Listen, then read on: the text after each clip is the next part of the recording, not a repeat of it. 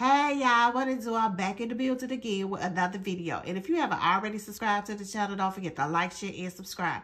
So y'all, this is what I want to know. Now, whoever was doing Miss Netta makeup, I think they I think they hooked her makeup up. I really do. I think Miss Netta makeup was really, really um nice. Although on this picture right here, you really can't tell because I zoomed in on her. But anyway, um, Miss Netta was growing a beard back.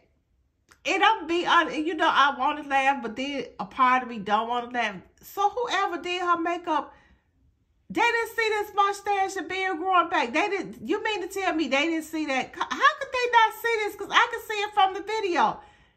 You could clearly see what they call it, after five shadow. You could clearly see it. Miss Daddy has a full beard on this picture. How could they act like they didn't see that?